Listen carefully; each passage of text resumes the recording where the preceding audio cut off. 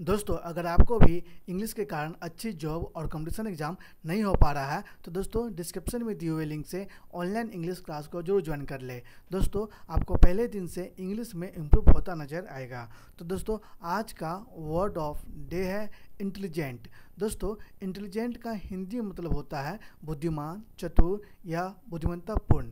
दोस्तों, इसका ये मतलब होता है कि दोस्तों, बहुत सारे बच्चे इंटेलिजेंट होते हैं। जैसे दोस्तों, कोई बच्चे पढ़ने में तेज तेज़ होते हैं तो दोस्तों तो कोई खेलने में तेज़ होता है। तो दोस्तों, आजकल तो जिस जिस बच्चे का दिमाग इंटेलिजेंट होता है, वो नया नया स्टार्टअप चालू करते हैं। तो दोस्तों इंटेलिजेंट के दो ऐसे एग्ज़ाम्पल समझते हैं, जो इस प्रकार है।